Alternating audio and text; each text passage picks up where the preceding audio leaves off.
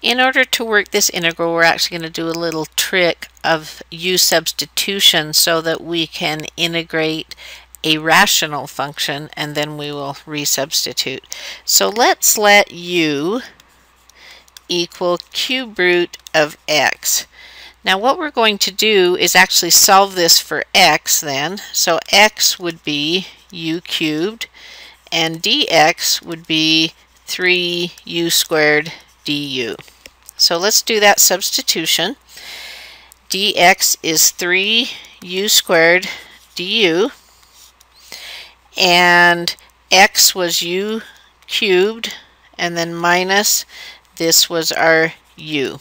So we now have a function doesn't have radicals in it so let's go ahead and we're going to do partial fractions so if we have 3 u squared over u to the third minus u. Actually, this fraction is not reduced because there's a u in common everywhere. So let's go ahead and reduce. So this is going to be u squared minus 1. And that'll actually factor difference of squares here, so we'll factor that. And our partial fractions then, we're going to need one denominator u plus 1 and one that's u minus 1. And our numerators will be a and b. So as we clear this of fractions, this one will need the u minus 1, and this one will cancel and leave us the u plus 1.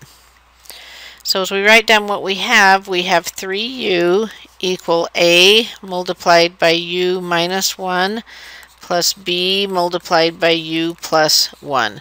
So we're going to use the convenient u method here. We're going to let u equal negative 1.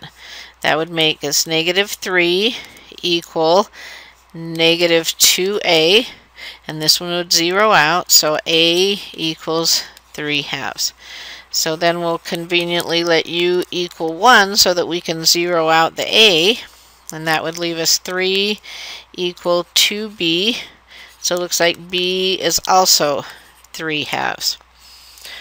So now we are ready to go up here and write this down as our partial fractions. So that's going to be, actually I'm going to put put the uh, partial fractions right here and then we will go ahead and replace. So this is going to be 3 halves u plus 1 plus 3 halves u minus 1. So we're actually going to put this down here. So we're going to have the integral of 3 halves u plus 1 plus 3 halves u minus 1 du.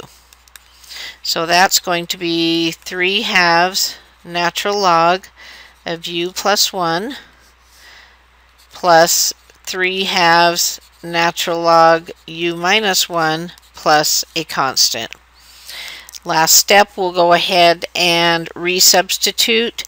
And remember, our u was the cube root of x. So we have 3 halves natural log absolute value of cube root of x plus 1 plus 3 halves natural log absolute value of cube root of x minus 1 plus a constant.